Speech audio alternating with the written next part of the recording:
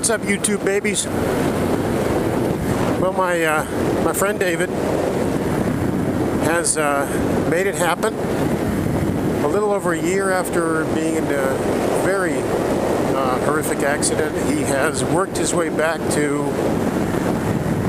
uh, getting on a bike, and he's already ridden 500 miles. Because I don't think he can spend a spare minute without somebody inviting him to come out riding with him. That's that's really awesome. So, David, to you, congratulations and ride safe and have fun. And uh, it's good to have you back on the road. I know you're already fine tuning your uh, alien transport, and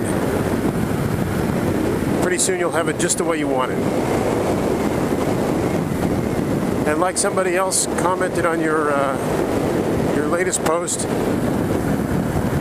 I don't think uh, you're destined to be on three wheels forever. I think uh, a two-wheeler is in your history or in your future.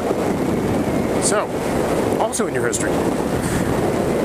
Um, best of luck. Enjoy your new ride and be real safe. Take it easy, bud.